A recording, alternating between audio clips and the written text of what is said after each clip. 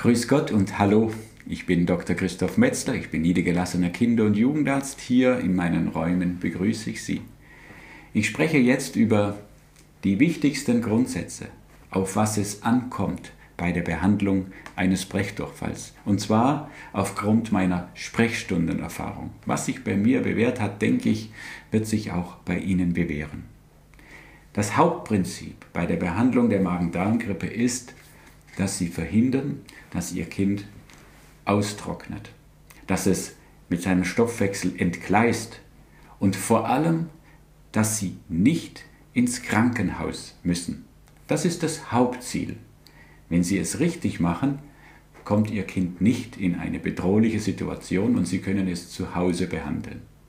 Sollte das nicht möglich sein, so gibt es Gott sei Dank mit der Infusionstherapie die Möglichkeit, ihrem Kind zu helfen, aber das ist eben nur im Krankenhaus möglich.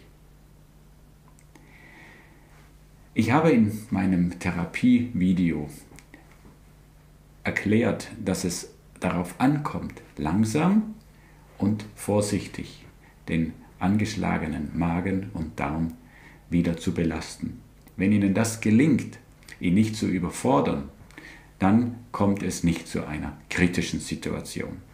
Das heißt, kleine Portionen allmählich steigern, ohne dass es zum erneuten Erbrechen kommt und ohne dass die Bauchschmerzen massiv werden. Dabei ist es wichtig, dass man das, was verloren geht, auch wieder ersetzt. Und das ist vor allem Flüssigkeit und das ist Salz.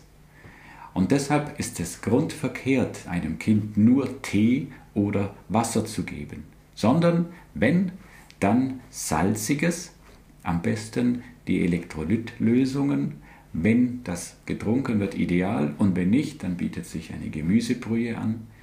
Und wenn ähm, gegessen wird, dann am besten Dinge, die mit Salz versetzt sind. Zum Beispiel die Salzstängel oder die Salzbrezeln. Die große Gefahr des Magen-Darm-Infektes ist das Austrocknen des Patienten. Woran erkennt man das? Wenn ein Kind ausgetrocknet ist, dann ist es schlapp, es ist völlig kaputt, es liegt ganz scheinbar zufrieden da, aber in Wirklichkeit hat es einfach nur keine Kraft mehr. Wenn es also noch spielt, dann ist es ganz sicher nicht am Austrocknen. Aber wenn es nur noch auf der Couch liegt oder im Bett liegt und sich kaum rührt, dann ist das ein mögliches erstes Zeichen für eine beginnende Austrocknung. Man kann Austrocknung erkennen daran, dass es im Mund keine Feuchtigkeit mehr hat, dass das Kind kaum mehr Urin produziert, dass die Windel also trocken bleibt, länger als zwölf Stunden und wenn es ganz besonders fortgeschritten ist, dann kann man an der Haut feststellen, dass, dass Feuchtigkeit fehlt, indem nämlich die Haut, beim Kind müssen Sie es am Bauch prüfen, ich zeige es einfach nur an der Altershaut, wenn man eine Falte macht und man lässt, man lässt es los, dann bleibt im Austrocknungsfall die Falte etwas stehen und verstreicht nur ganz langsam. Und wenn die Haut aber noch genügend Feuchtigkeit hat, dann äh, geht es ganz schnell wieder ins Flache zurück. Also diese vier Zeichen, wenn die vorhanden sind, Kind schlapp, Mund trocken, kein Piesel mehr und die Haut mit dieser stehenden Hautfalte, so nennt man das, dann ist das ein dringendes Zeichen für eine Infusionspflichtigkeit und dann bleibt Ihnen nichts anderes übrig, als Ihr Kind zur Infusionstherapie zu geben. Ich denke, dass Sie wenn Sie meine Tipps befolgen, erfolgreich die Magen-Darm-Grippe Ihres Kindes oder bei sich selbst meistern werden. Viel Erfolg! Brechdurchfall oder wie wir Mediziner sagen, Gastroenteritis oder wie die meisten diese Erkrankung kennen unter dem Namen Magen-Darm-Grippe.